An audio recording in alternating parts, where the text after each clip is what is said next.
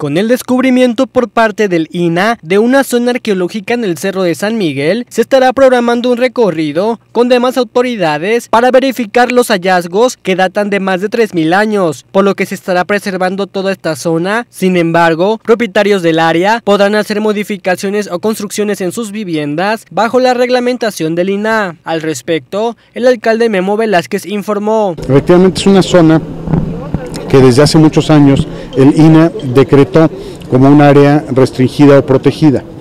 Cualquier ciudadano que tenga alguna eh, propiedad en esta zona sí puede hacer una construcción,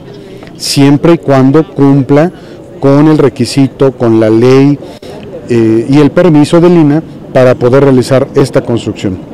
¿A partir de qué sucede estos hallazgos? A partir de que una familia solicita al INA el permiso para poder construir una casa y a partir de, este, de esta solicitud, eh, INA a nivel nacional, INA México, manda a un arqueólogo y ese arqueólogo es el que ha hecho todos estos descubrimientos. Lleva hasta el momento, por lo que nos reportó el día de ayer, 12 esqueletos eh, humanos ya, en los cuales se encontró en, en la parte de la mandíbula una piedra verde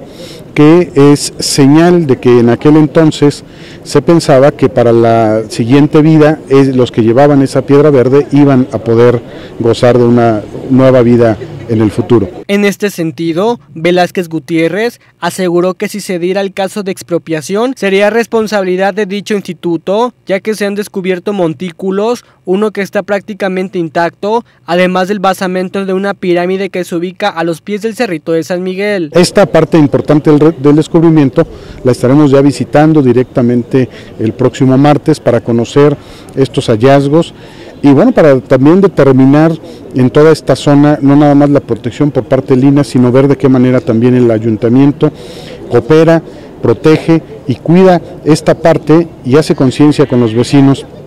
para que bueno vayamos resguardando todos los elementos que se vayan encontrando en esta zona arqueológica de Atlisco. Cabe señalar que este descubrimiento se ha dado a conocer a la población, por lo que se pide que no visiten aún esta zona, ya que los vestigios encontrados son un tanto delicados para su conservación, por lo que se invita a la ciudadanía a respetar esta área cercana al Cerro de San Miguel, pues se puede deteriorar gravemente lo hallado. Precisamente eso estaremos eh, haciendo el día martes, una supervisión con el INA para determinar las acciones a seguir y también dependiendo de las facultades del propio ayuntamiento, pues determinar qué acciones el ayuntamiento estará emprendiendo para resguardar y cuidar esta zona arqueológica.